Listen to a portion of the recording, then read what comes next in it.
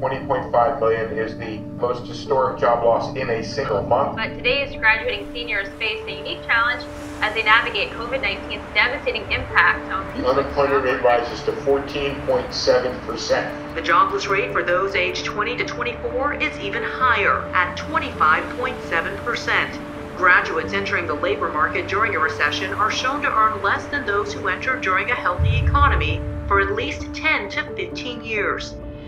That's why one college launched a campaign that promises postgraduate opportunities for every member in its current senior class. What we're trying to do is identify job opportunities for all 500 of our graduating seniors and to be able to do that in one of the toughest job markets we've ever seen. Colby College in Maine is already making good on its promise to get job offers for 100% of its graduating seniors. To find a way to say, hey, can we get together and call on our entire network of alums, friends, and others to help these students? And we have a program at Colby called Davis Connects, and it helps our students from the moment they walk in the door in the first year to have research experiences, global experiences, internship experiences, and so far, we've had 600 opportunities come in. We're in week three. Wow. 600 opportunities have come in that we did not have before. So it looks pretty good. I will be joining Google as a software engineering resident. I'm going to be working at Citigroup in New York City. I got a job working at Epic Systems in Wisconsin. I will be working at BC Consulting in Boston. I'm going to be working at Dana Farber Cancer Institute. I'm going to be doing